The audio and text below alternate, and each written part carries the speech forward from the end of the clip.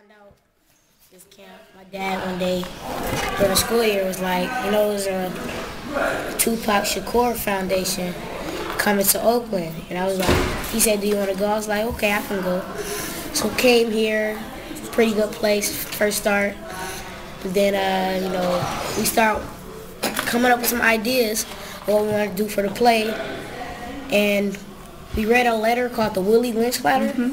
And we all came up with the idea to kind of base our play on the Willie. Uh, gentlemen, I greet you here on the bank of the James River in the year of our Lord 1712. I see you have a problem controlling some of your black slaves.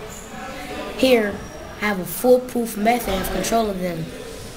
I use envy and distrust for control purposes.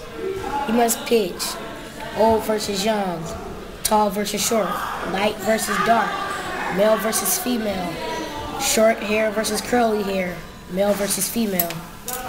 If this is established for one year on your plantation, it will last for 300 years. Thank you, gentlemen. Let's make a slave. Well, Pac, these lyrics are so real. Like, he might be talking about being a gangster, but people think of it as killing people or something like that. But he's actually saying something else.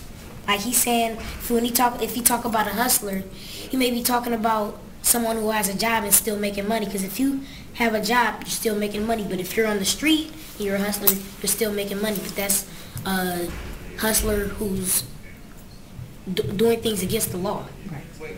So that's what inspired me about Pac. He raps about some of the